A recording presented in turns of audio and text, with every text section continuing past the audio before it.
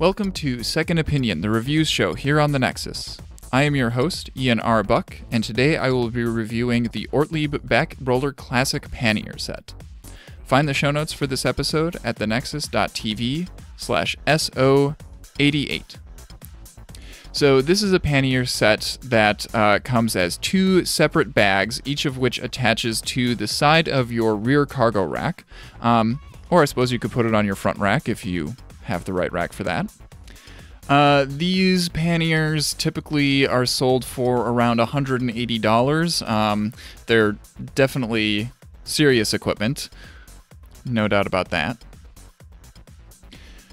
So if they're so serious, uh, how much cargo can they carry? So um, between the two of them, they have a capacity for 40 liters of stuff. Um, it's so much space. I love it so much. Um, and because this is a pannier set where the the bags are just clipping onto the sides of your of your cargo rack, you can you still have like more space on top of your rack to buy. You know, you can buy a completely separate bag uh, that goes on top of your rack and add even more space.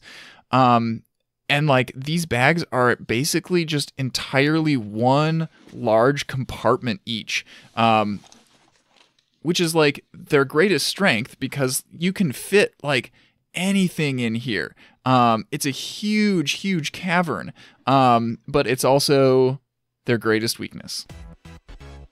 It's their greatest weakness because it does make it more difficult to like fish individual items out of your bags once they're all filled up. Um, so it's it's a it's kind of a big dent in the uh, versatility department.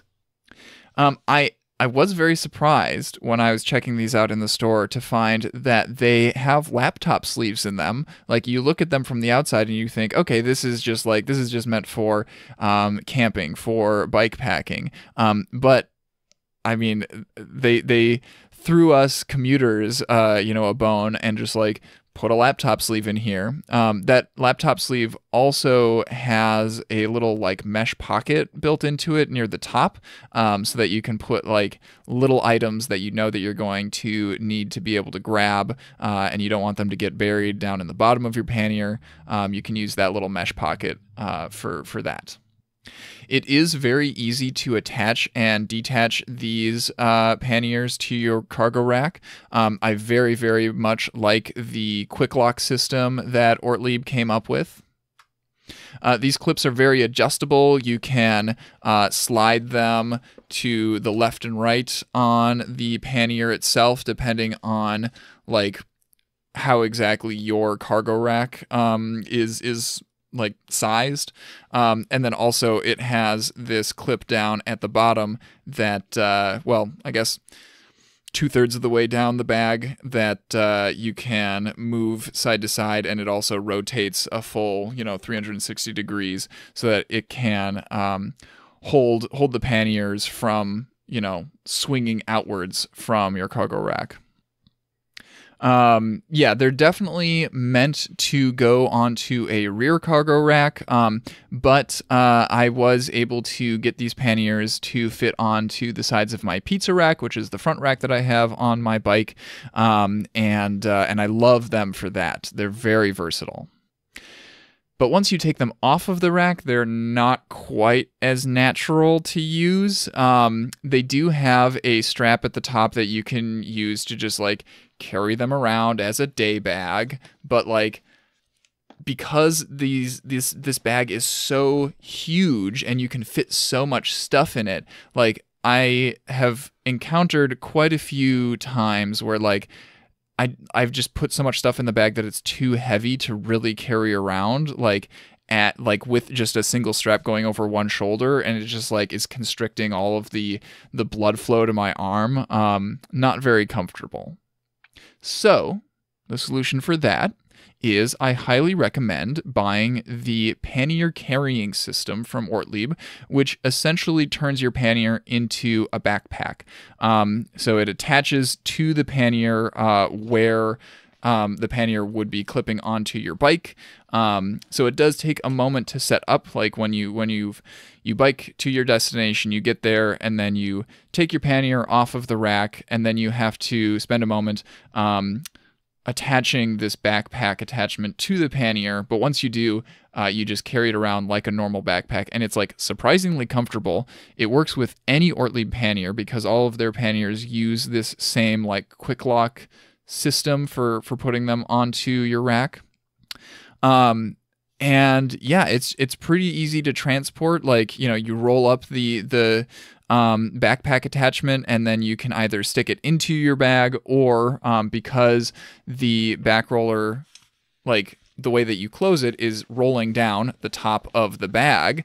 Um, and then and then closing that with a strap and a clip that goes over it, uh, you can just stick the the backpack attachment, um, slip it you know in between the bag and the strap that's holding it closed um, and uh, and carry it with you so yeah i use the ortlieb back back roller classics uh, as my just like daily bag that i've got with me uh, on my bike um, for most days i only have one of them with me and that's plenty of uh, cargo capacity for just about anything that i that i end up needing to carry with me on a normal day. Um, occasionally, you know, I'll add a second one, um, or I actually I like these these bags so much that I bought myself a second pair of them, um, and so now I can fit four of them on my bike, and and then I have 80 liters of bag space uh, to play with. Like it's so much space. I can carry anything that I want to. Uh, it, it feels like I can carry anything that I want to uh, with my current bike setup. What can I say? I'm a slut for cargo capacity.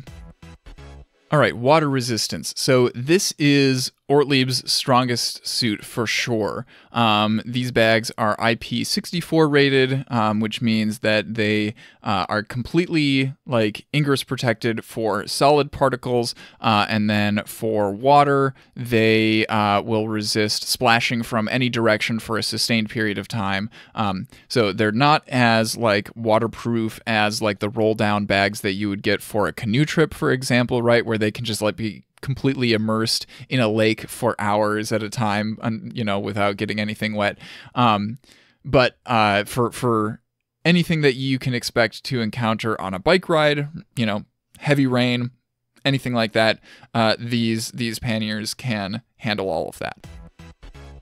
All right, durability. So um, I've been using one of these uh, panniers every day for the last almost a year. I bought them almost a year ago. Um, and the only sign of wear that uh, I can tell is that it's got like two little pinprick holes um, up at the top where the buckle rubs against the bag material. Um, it does make me a little bit nervous seeing those holes there. Like they are large enough um, to see like light coming through uh, into the inside of the bag. Um, but so far, like I haven't detected any water getting into into um, the bag, even though it's gotten rained on quite a few times after I started noticing those holes. So I'll definitely be keeping an eye on that. Um, but so far, they have not been a problem.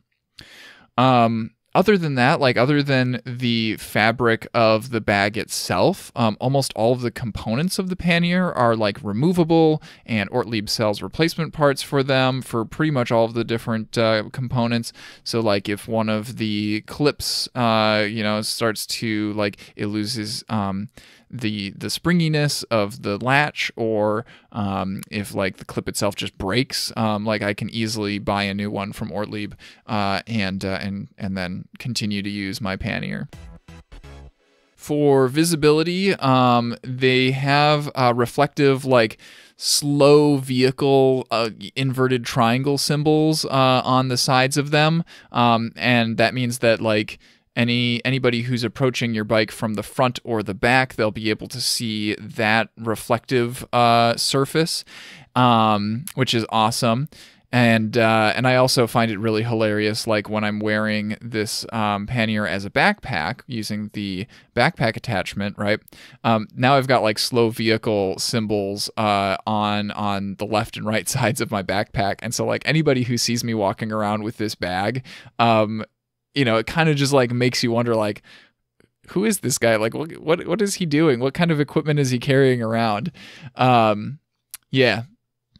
For the base color of the bags, um, you can either buy it in black or yellow. Obviously, the yellow one will be easier to see, um, but with the with the, those large um, reflective parts, uh, I don't I don't feel any trepidation uh, owning the black variant. Uh, some final thoughts here. Um, these bags like really mess up kind of the whole price lineup for Ortlieb's products. Um, they so they're they're they cost $180 which like comparing it to a lot of other panniers um, does seem like a lot but like they are very serious they're they're high quality um, the company like supports them uh you know with with a lot of like replacement parts and everything so that's all very good. Um but then like if you compare it to other Ortlieb products um which also are all like very you know made of the same um waterproof material and they you know they're all going to be supported by the company and everything um the backroller classics like have by far the highest volume to price ratio.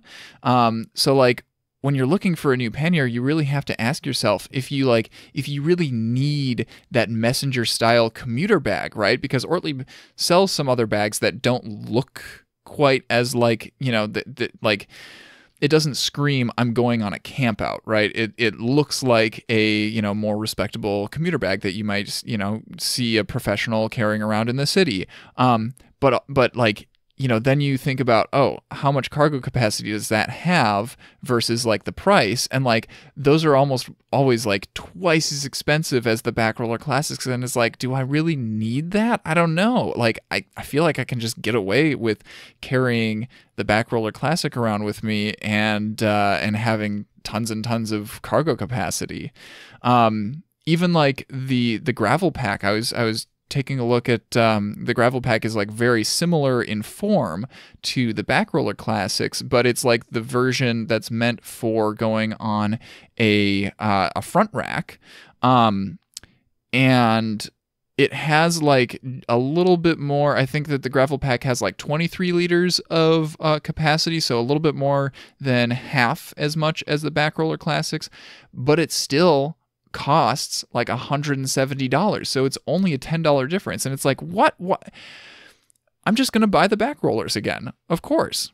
Um, so yeah, like I mentioned, um, I bought a second pair of back rollers because like I love just having as much cargo capacity uh, on my bike as possible. And like with four of these things, two of them on my back rack and two of them on my front rack, um, I feel like I've just about maxed out the amount of like cargo space that I can eke out of my, you know, my bike, which is a, a, a standard framed like safety bicycle. Um, and you know, I suppose I could get like a frame bag. I might be able to hang some stuff from my handlebars, but like, you know, that like that's kind of pennies on the dollar compared to how much stuff I can fit into the Ortlieb uh, back roller classics. So yes, I I highly recommend these um, uh, these panniers. Um, they do cost a lot, but like, man, are they worth it.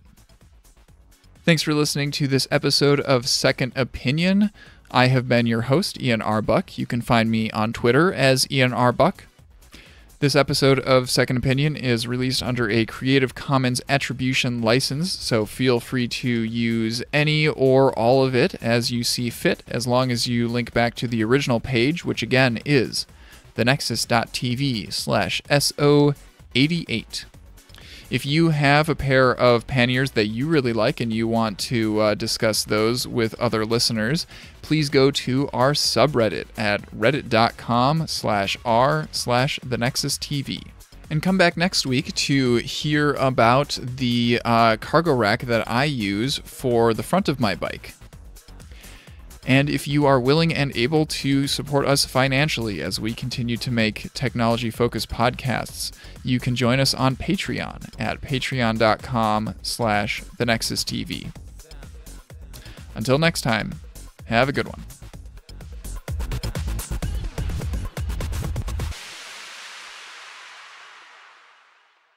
The Nexus. The Nexus. The Nexus TV. Podcasts from, from the, the, Technological, technological convergence. convergence. Technology is ever evolving. It touches every part of our lives, both influencing and being influenced by society. I'm Ian R. Buck, and I know it's hard to stay on top of everything you need to know to live in this digital world. That's why, every month on The Extra Dimension, we explore a different aspect of the technological convergence. Find it on our website, thenexus.tv, or by searching for The Extra Dimension in your favorite podcast player.